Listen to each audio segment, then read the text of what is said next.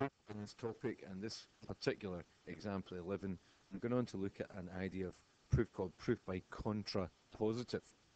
Now, hopefully you've already looked at the proof by contradiction examples and the kind of teaching behind that because this is a development of it. So if you haven't already looked at the previous examples on proof by contradiction, go back and do so. We're going to use the same uh, idea of uh, negation statements, but our focus is going to be slightly different. So the idea of proof by contrapositive is that we are using these kind of implication statements which say that if statement P is true, then it implies statement Q is true. So there's that linked uh, truth in the statement. That's what we're going to start with our conjecture. And the proof by contradiction and it would say assume P and not Q. So we're kind of changing around half of it and we're showing that that's false.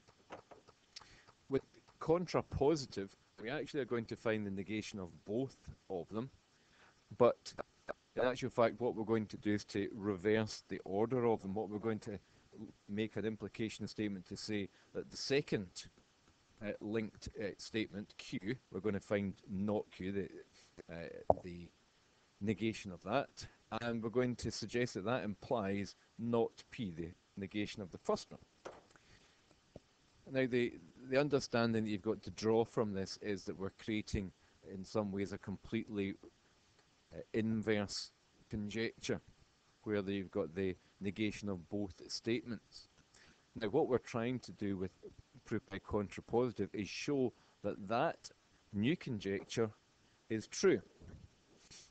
And if the contrapositive is true, then the original conjecture must also be true. Okay, so we're not trying to disprove anything. We're with the logic is that if we can prove the contrapositive, we're then, by logic, proving the original.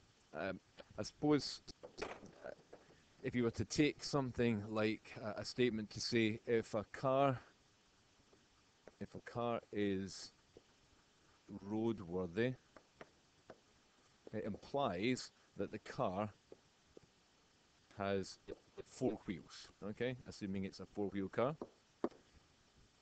So if a car is roadworthy, it implies it's got four wheels. Um, if that's P and that's Q, then not Q would be to say if a car has four wheels, the, the uh, negation of a car has four wheels is the car uh, doesn't have four wheels. Okay, we can be, uh, or has less than four wheels. Okay, so the negation is that if a car has less than four wheels, the implication is not P, not if the car is roadworthy. The car is roadworthy, the, the negation of that is the car is not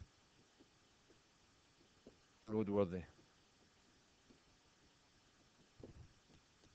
And so the idea being, have a look at that new statement. If the car has less than four wheels, it implies the car is not roadworthy. That's basically saying the same thing as if the car is roadworthy, it implies it's got four wheels. If we can prove the contrapositive, we're basically proving the original statement. It's just sometimes the contrapositive is easier algebraically to prove than the original statement, and that's why it works so well. Okay? So we're going to try and create a contrapositive statements. We're going to prove that they are correct, um, which is by logic proving the original conjecture true as well. Okay, so uh, what we're saying, that's me just saying there. So we've got an example. Let's have a look at an example here. It's not the easiest one, uh, to be fair, but we'll go with it anyway. So the example is example 11. Prove that 5 is a factor of n squared, then 5 is a factor of n. So prove that if 5 is a factor of n squared,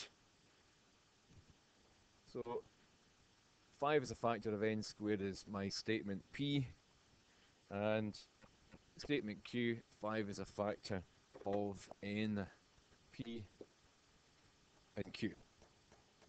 So sometimes it's helpful to, in this kind of situation, to isolate it in this way. Uh, we can say that P says that 5 is a factor of n squared and q says 5 is a factor of n, which means that not p, the in, not inverse, the negation uh, would be simply that 5 is not a factor of n squared. 5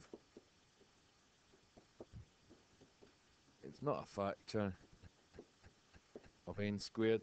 And not q, 5 is a factor of n, 5 is not a factor of n. So they're quite straightforward. So what we want to do is for the contrapositive,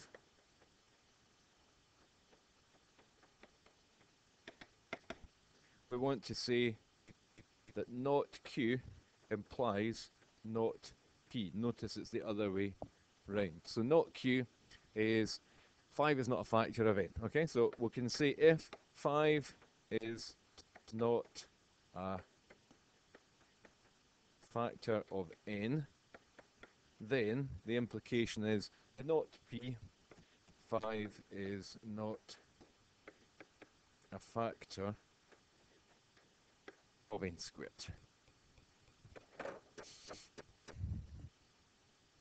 Okay, so first of all I've got to create that. Now I have to uh, try and prove that to be true.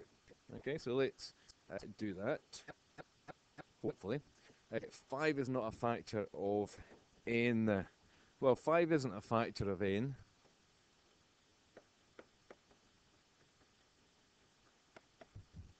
Then we can say that n has to be a multiple of 5, say 5k, plus some kind of remainder, r, which is going to be between 1 and 4. Is that right?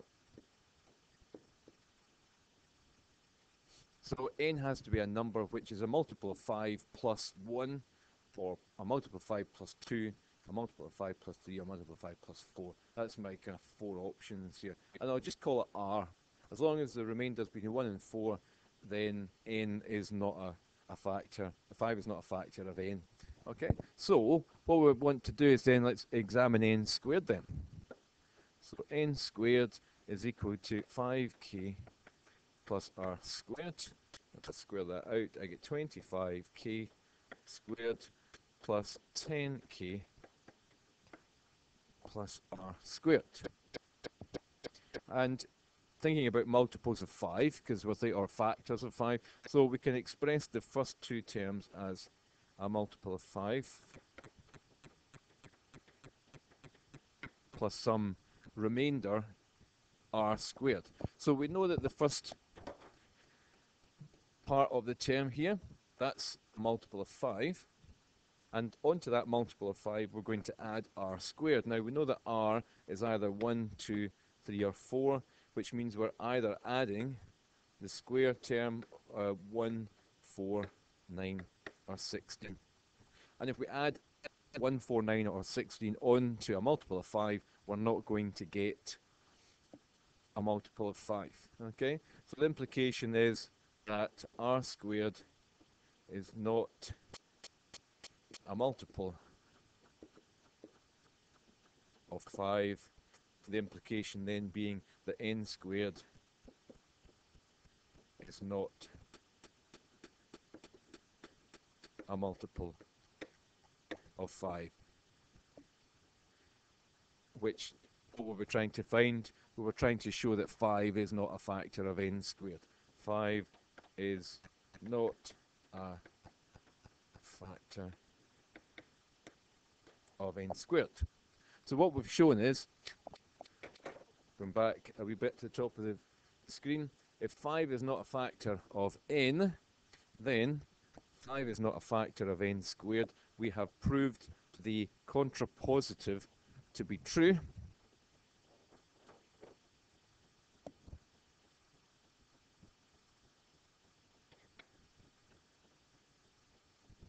Just write down.